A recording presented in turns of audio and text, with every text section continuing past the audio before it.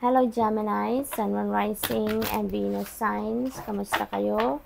Sana po nasa mabuti kayong kalagayan. Welcome back po sa Star Tarot. Kung bago kayo rito, welcome din kayo. Thank you sa inyong support. I truly appreciate it. God bless you all. Tignan natin ang mga mensahe ni Gemini.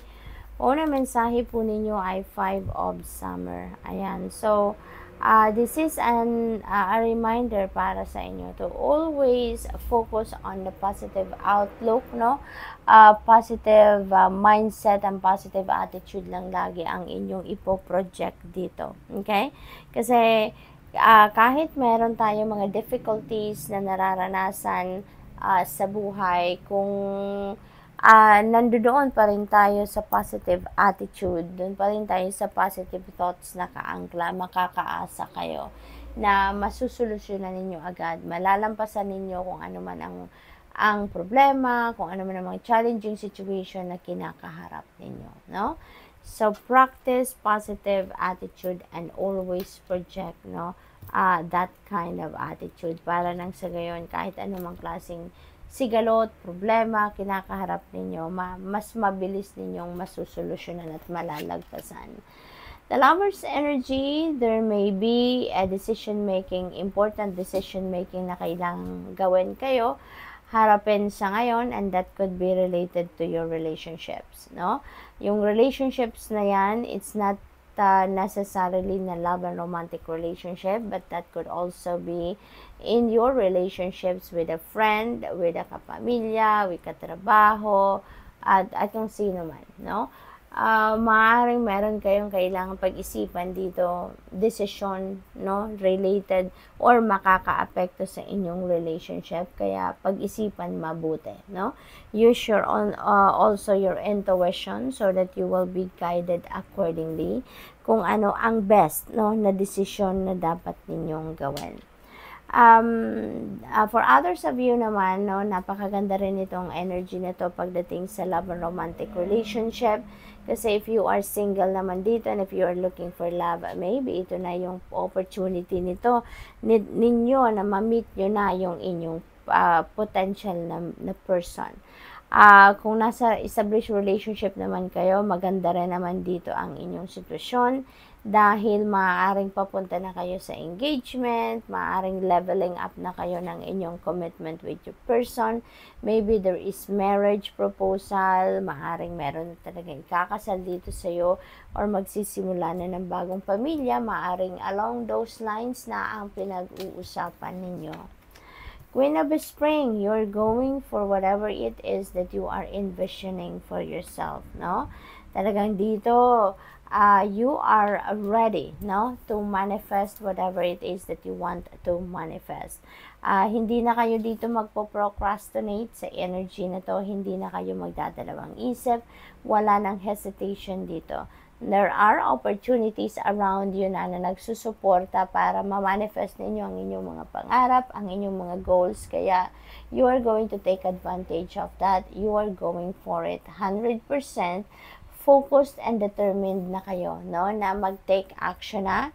You're not going to allow anything or anyone to get in your way. Talagang laser focus na kayo dito na gawin ang necessary steps na dapat ninyong gawin para ma-achieve ninyo kung ano man ang mga gusto ninyong ma-achieve sa ngayon.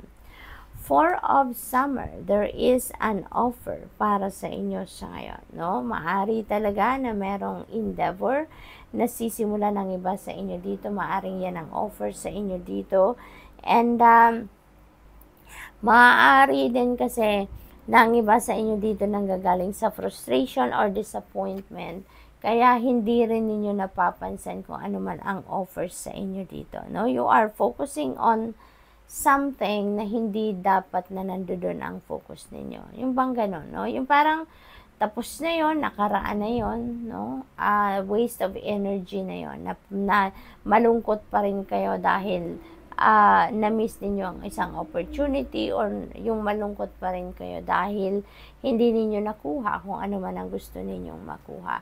There is an offer coming your way. Merong opportunities dito nakakatok sa inyo. Kaya, uh, iniimbitahan kayo dito na buksan ninyo ang inyong mga mata, ang inyong mga tenga, ang inyong sarili. Be open to this opportunity na kakatok sa inyo because this could be uh, the opportunity na muling magpapa-excite sa inyo at this time. Okay?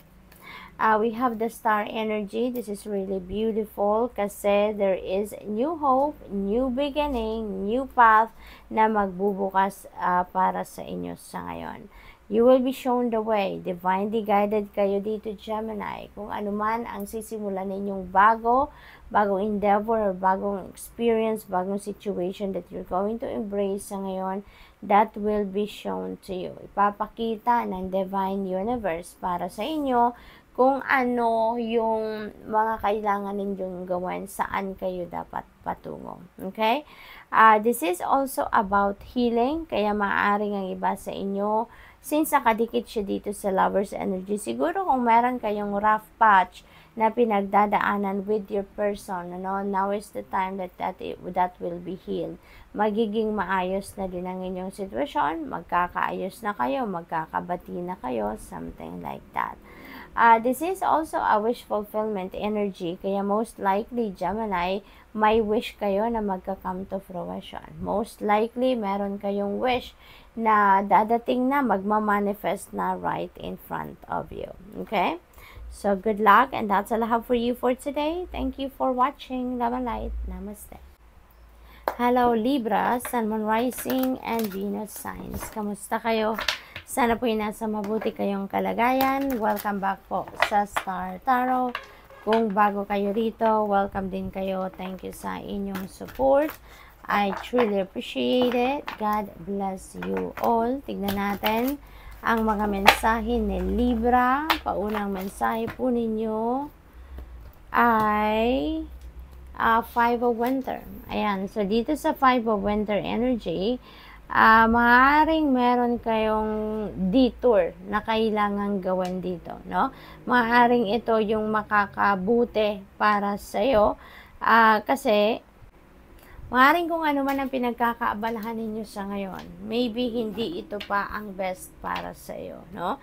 Kaya, be on the lookout for those intuitive messages, no? Na dumadating sa inyo. Kasi, yun ang gabay sa inyo ng universe, no? You will be led towards a different path dito. Wherein, yun ang best para sa iyo. Yun ang makakabuti para sa inyong sitwasyon. Okay? Uh, we have five of summer. Ayan. So, siguro, ang iba sa inyo dito, merong pinanghihinayangan.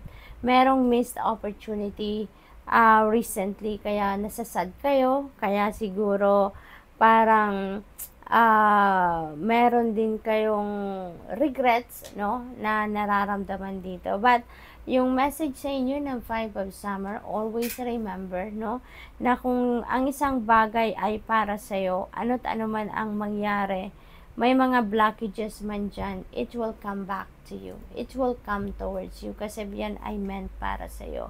So, since hindi napunta sa iyo, kaya na, nagkaroon ka ng missed opportunity dito, kaya hindi mo nakuha, hindi napunta sa iyo, or hindi nangyari kung ano man ang ina-expect ninyo, it's simply because it's not meant for you. Okay? It's simply because uh, hindi yan ang best para sa iyo. Hindi yan ang uh, makakabuti para sa iyo. Okay? Kaya, focus on what is the best possible outcome na lang or focus on what is good rather than feeling sad kayo. Kasi, yung sadness, is, that is a low vibration feeling, you know? At uh, yung mga low vibe na yan, mag attract pa yan ng mas marami pang negativity, no? Sa buhay natin. Kaya, uh, isipin nyo na lang, no, na this is not for you. Kaya hindi nangyari. Kaya ninyo na-miss yan because it's not the best for you at this time. Hindi yan ang para sa iyo sa ngayon. So, focus or transmit your negative thoughts, feelings, and emotions into positivity nang sa gayon, positive things and situations and experiences then ang ma-attract ninyo towards you. Alright? Uh, we have 8 of winter. Ayan. So, this sa, sa 8 of winter energy naman, uh, parang negative thoughts din ito, no? Na napumipigil sa inyo to be free, na, to, na pumipigil sa inyo to do whatever it is that you want to do.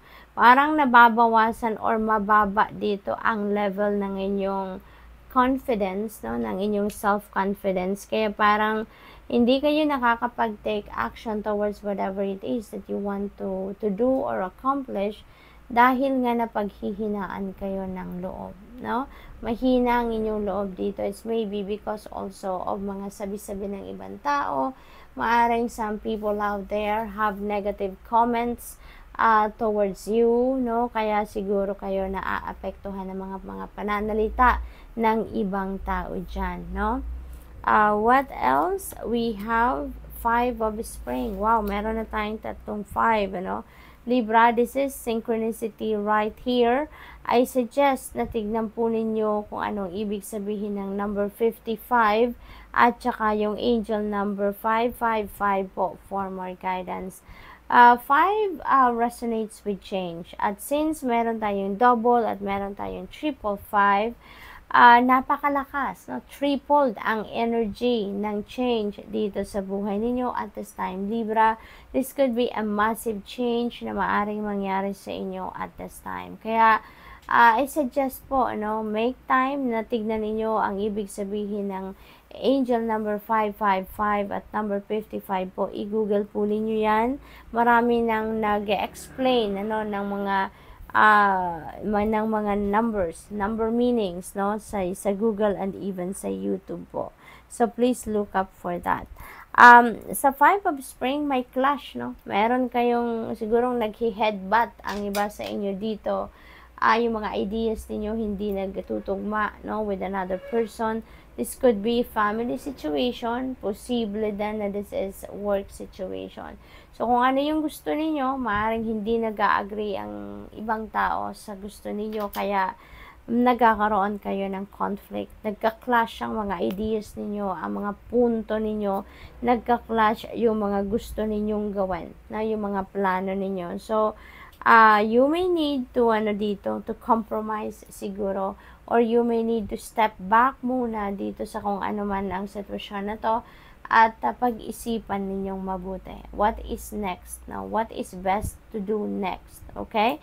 Uh, otherwise, kung itutuloy ninyo yung pakikipagdiskusyon, disagreement na to, baka mauwi lang ito sa hindi magandang usapan, hindi ma- maaring masira lang dito ang inyong relationship with this person. Kaya, as much as possible, dun muna tayo, no, sa sa pagtalikod muna ng saglit lang sa sitwasyon na to so that you can gather your thoughts, you can gather yourself and get back to it once na humupa na ang tension, humupa na ang galit, no? Uh, what else? We have Nine of Winter. Ayan. So, parang ang bigat ang energy ni Libra sa ngayon kasi you are also worrying a lot. No? You are also worrying too much dito. And yung worry ninyo na ito could be unnecessary. No? It could be related to this Eight of Winter energy na hindi kayo makapag-move forward with your life, hindi kayo makausad pa, it's because you are worrying too much, no? Nakaya ko ba to? Magagampanan ko ba to? Mapapatunayan ko ba to? Or mapapanindigan ko ba? So maybe that is some kind of um, uh, worries na iniisip ninyo sa ngayon. Maybe that is related to the Eight of Winter energy. Pero alalahanin ninyo, Libra, no? Na worrying about something that is beyond your control is unnecessary. ba? Diba? Kasi bakit tayo, bakit mo iisipin pa ang mga bagay, magwo-worry ka pa, no? May stress ka pa uh, kung hindi mo naman kontrolado ang sitwasyon. So, doon na lang tayo mag-focus sa kung ano ang mga bagay na may control tayo. No, doon tayo mag-focus sa mga bagay na meron tayong magagawang pagbabago, meron tayong magagawang adjustment, meron tayong magagawa kung paano natin mapapaganda or maisa sa ayos ang ang kung ano man ang bagay na yan. Okay? So, good luck, uh, Libra. That's all I have for you for today. Thank you for watching. Love and light. Namaste. Hello Aquarius, Sun, Moon Rising, and Venus signs. Kamusta kayo? Sana po nasa mabuti kayong kalagayan. Welcome back po sa Star Tarot. Kung bago kayo rito, welcome din kayo. Thank you sa inyong support. I truly appreciate it. God bless you all. Pauna mensahe ni Aquarius ay High Priestess Energy. High Priestess energy is about intuition. No? So most likely your intuition is on point at this time. Uh, there could be downloads coming in dito Aquarius at yan ay magagabay sa inyo uh, on how you're going to manage yourself sa ngayon, how you're going to navigate your situation sa ngayon, no? Uh, your uh, ano ngayon, uh, uh, reminder din ito sa inyo na now is not the time to take action. But now is that the time instead na magmuni-muni kayo, mag-reflect kayo, mag-tune in kayo sa inyong intuition because there are important guidance na kailangan ninyong uh, ma-pick up at this time. No? Mahalaga, siguro meron kayong mga decision din na kailangan gawan and maybe you are seeking for advice and kaya kailangan ninyo na mag-tune in sa inyong intuition because there are important guidance na kailangan ninyong marinig. Okay? Awakening, ayan, so maybe uh, kailangan talaga ninyo na magnilay-nilay, mag, mag-reflect, mag-introspection mode dahil uh, meron bagong perspective dito, new ideas or new plans that may arise. No? Kailangan ninyo na mag-step back a little sa kung ano man ang inyong ginagawa talaga at magpahinga kayo. Uh, mag, mag-focus muna kayo dito sa inyong sarili. No? Tune into yourself, tune into your soul kasi parang merong important detour dito na kailangan kayong puntahan. Kung ano man ang inyong ginagawa sa ngayon, that may not be the best thing para pag-focusan ninyo sa ngayon. There could be something else na mas dapat ninyong unahin or mas dapat ninyong i-prioritize. So, you're being advised here to look at things at a different perspective ngayon. Ano? Kaya, importante na mag-step back muna kayo ng kahit saglit lang sa kung ano ang inyong ginagawa so that makapag-isip kayo ng mabuti no, na hindi kayo maaapektuhan ng kung ano man ang inyong pinagfo-focusan sa ngayon. Okay? We have 10 of spring, and so 10 represents endings and beginnings, no? Uh, dito naman, parang may burden kayo, no? That could be physical burden, that could be emotional burden. Then, na, na uh, kinakaharap ninyo dito. But uh, now is the time that you're going to put an end to whatever it is that is burdening you. Kasi, parang nakakaramdam na kayo dito ng hirap, no? ng extra hirap, overwhelming na hirap. Uh, maaring you're working too hard, no? Pero parang hindi naman kayo compensated, yung ganun. You're working far too hard uh, dito siguro sa trabaho or sa sa karera, sa pamilya, no? Pero alam mo yun, yung nako-compromise naman dito yung inyong kalusugan, nako-compromise din dito yung uh, yung well-being ninyo. Kaya siguro sa ngayon, sobrang stressed out na siguro ang iba sa inyo or maaaring papunta na kayo doon sa pagiging burnt out, burnout na, no? Ang magiging pakiramdam ninyo. Kaya ngayon pa lang parang nararamdaman na ninyo na it's about time na to let go of some things na nagpapabigat or nagpapahirap sa inyo. Kaya siguro ma maaaring kung sa trabaho to, maaaring magkikwit ang iba sa inyo sa trabaho, magre-resign, at uh, maaari din na magsasalita na kayo, you're going to speak up, you're going to reach out to your boss na siguro at sasabihin nyo na na kailangan nyo ng support, kailangan nyo ng tulong, something like that, no? Posible din na kung sa pamilya to, maaaring lahat kasi ng chores nasa sa inyo. Kayo pa yung nagbabudget, kayo pa yung nagtatrabaho, naghahanap buhay. Yung bang parang lahat na lang nasa inyo, no? Kaya siguro mag-iisip-isip din kayo dito or magde-decision din kayo dito na makipag-usap na din kayo sa ibang kapamilya ninyo to ask for help. Uh, the chariot energy, this is a moving on energy. So, this is really good kasi ibabalik nyo na dito yung uh, balanse dito sa sarili ninyo. Nakakatuwa ito, no, ng pagtatagumpayan ninyo kung anong gusto ninyong gawin dito sa Ten of Spring na klaseng pakikipag-usap, you're, you are letting go of the burden, no, sa sarili ninyo, pagtatagumpayan ninyo yan, and you are moving on, no, you are going to start fresh sa buhay ninyo na maaaring magkaroon na kayo ng panahon para sa pag-aalaga sa inyong sarili, magkakaroon kayo ng panahon para makapag-unwind man lang, yung bang you're gonna have time for your for yourself no? You you'd be able to enjoy yourself na din 'di ba? And enjoy life yung ganon uh, for others of you din dito no may success kayo na makakamit sa ngayon posible related din yan sa career ninyo sa trabaho negosyo meron din reward or recognition dito na makakamit ang iba sa inyo no so congratulations to that Three of Spring, this is a good fortune energy, no?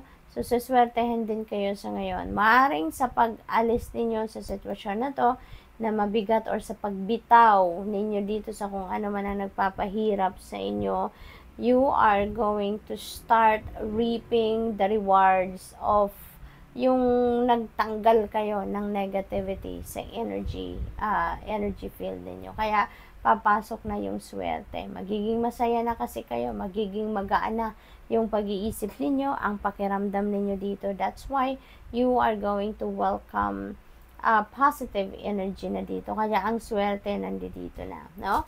So, uh, for others of you, this is also a time for reflection talaga. Kasi, uh, parang ma-inspire kayo dito na magplano kayo for expansion, magplano kayo dito for future endeavors or future na addition na gagawin ninyo doon sa kung ano man ang dati na ninyong ginagawa dahil nakikitaan nyo na ng tagumpay, nakikitaan nyo na ng magandang resulta ang strategy ninyo na in-apply ninyo dito sa kung ano man ang inyong ginagawa, no? So, travel also is imminent for some of you dito, Aquarius, kaya good luck po at mag-iingat kayo. So, uh, good luck. That's all I have for you for today. Thank you for watching. Love and light. Namaste.